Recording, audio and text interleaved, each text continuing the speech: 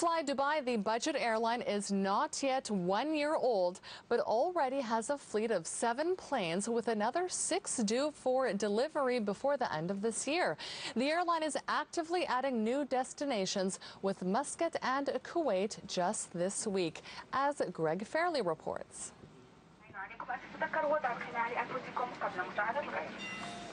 Customer safety of passengers and crew are paramount on Fly Dubai.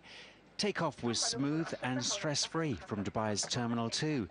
Destination Muscat, celebrating another new route for Fly Dubai with a landing and cutting of the cake. When it comes to aviation, Dubai is a city that believes you have to grow the market in order to generate rewards in business.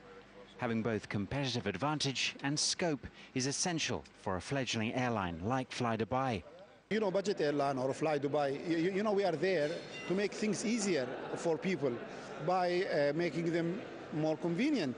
And I think uh, for the business people, and I, have met a lot of people who said thank you very much for Fly Dubai because now I can get in touch with our customer more often than I did before. Dubai International Airport's projections for 2010 are for 46.6 million passengers, being a destination for tourism and commerce, and rapidly becoming a world hub.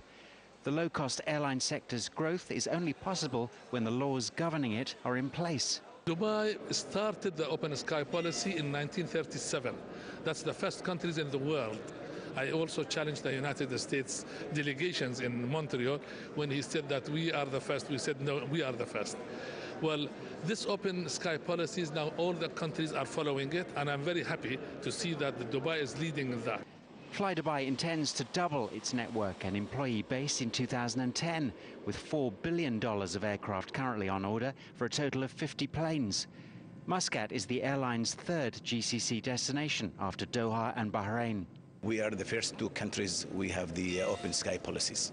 So uh, any airline registered in the UAE, they are most welcome in any time, in any numbers of flights. The Sultanate of Oman currently welcomes around 2 million tourists annually, but hopes to increase that to 12 million by 2020. Dubai, on the other hand, aims to attract 15 million tourists by the year 2015.